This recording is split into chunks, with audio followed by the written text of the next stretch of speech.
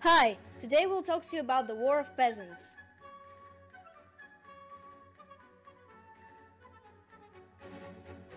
In the early 16th century, the Catholic Church was a major power. It holded a huge part of the land and had a significant influence on all rulers. The first one to spot corruption in the church was, of course, Martin Luther, with his 95 Theses nailed to the door of the church on October 31st, 1517. He printed the Bible in German so that everyone can read it and come up with their own interpretations and beliefs. Because of these differences, many sects were created and conflicts were started between them.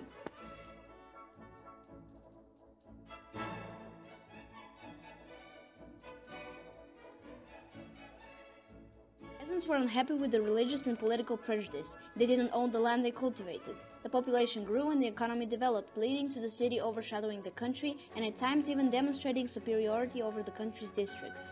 Also, the value of money sank about 50%, while prices rose. The inflation was a serious factor that really got on the nerves of peasants, since they already received low salaries, but now they could only buy half of the stuff they needed with it.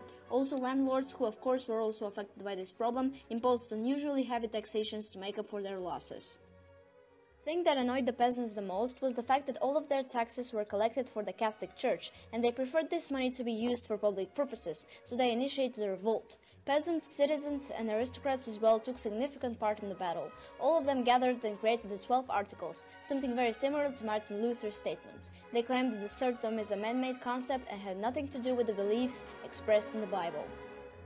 The revolt had brutal consequences. It was ended when the peasants were crushed in a battle in Frankenhausen in 1525.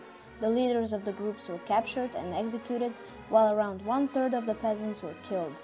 Furthermore, the rulers thought that this revolt was a reason for more strict discipline and rules which they imposed.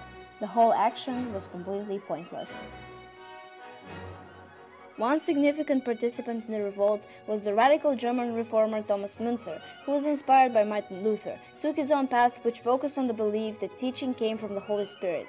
He also preached that only if the common people were to realize the law of God within themselves and place group interests above those of the individual, they would be able to transform society the way it should be. Soon after his ideas were made a reality, the League of Schmalkalden was formed on Protestant territories with the idea to defend themselves collectively.